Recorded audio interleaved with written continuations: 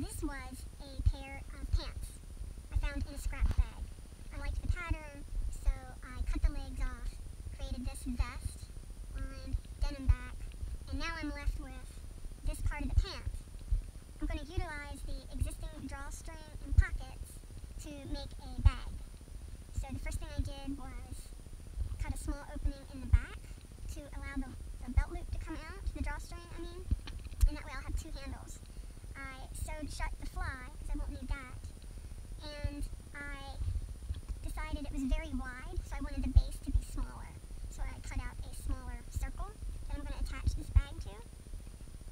Ran some straight stitches for gathers all the way around it, and now I'm going to pin it to the bottom and sew it on. So I'm going to turn this inside out because I want to sew right side to right side, meaning the right side of this fabric touches the right side of this fabric, the wrong side. That's the wrong side, that's the right side. Right side, wrong side. So right side to right side means I'm going to put it in like this. So if it's inside out, you're going to see wrong side, wrong side, and then when we flip it this way, you're going to see right side, right side on the bottom. The hardest, hardest part to getting the bottom on is getting the fabric equally distributed around the circle. Not too much fabric on one side. So to start, we'll pin it um, on, we'll start the pin here, and then the second pin will be completely horizontal or straight across.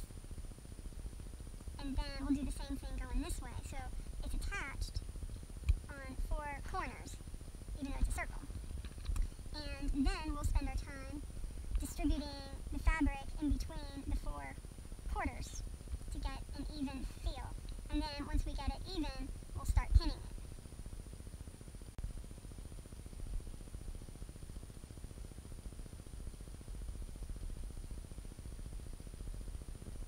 Once the fabric is completely pinned to the circle, we'll run it through the sewing machine and just run on this side and just run over all of these gathers, being careful not to hit the pins, taking those out as we go.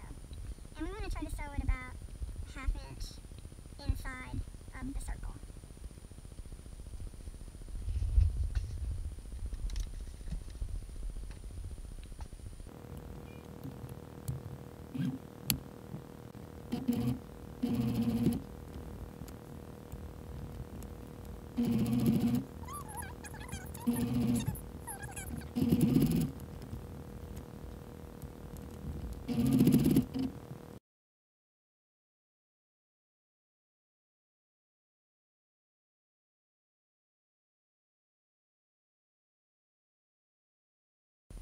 Removed the